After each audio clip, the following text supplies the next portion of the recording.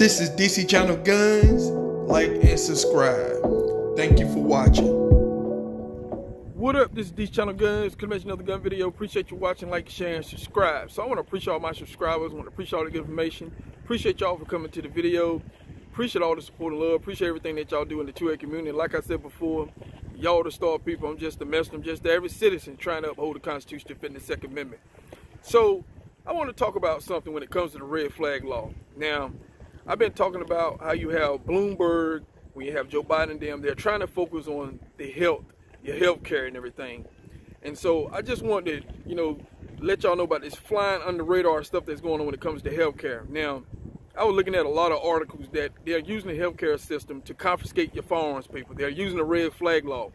And, you know, one thing that they have been doing, they're right now training social workers, welfare workers, about firearm safety. Now, they're saying they want to protect the families, and what they're doing, they're pretty much are, you know, demon families that's on welfare, they're deeming some of these people who have a firearm to protect themselves as, you know, they're in danger to themselves and other. And what they're doing is getting court orders to go and confiscate these people farms. And this has been hap this been happening.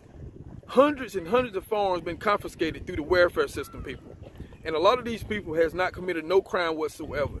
You have the welfare system is con condemning these people as if they don't have the, the, the mental stability to have a farm and stuff in their home.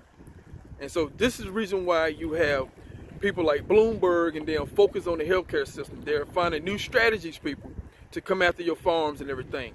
And this is something that we have to look at. And they're training healthcare workers, you know, you know, about farm safety, and then they're coming up with all these farm um, safety storage um, laws and stuff that I've been talking about happening across the country and stuff like that. The farm safety laws, storage laws. So, you know, you having people getting their farm confiscated, especially these people who's on the welfare system and stuff like that.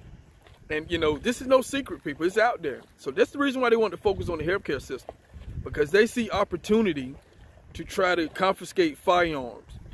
So I just want to bring that to people and everything, give you some food for thought. Think about that, people. They're using the welfare system. They want to focus on health because they're trying to say that firearms is a public health safety crisis that's going on in this country. So they're saying, hey, it's all because they're trying to protect the people. It's all about gun violence prevention and stuff like that.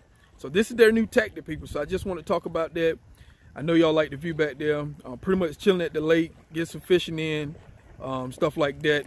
So this is DC Channel Guns, and I'll catch you on the next one. This is DC Channel Guns. Like and subscribe. Thank you for watching.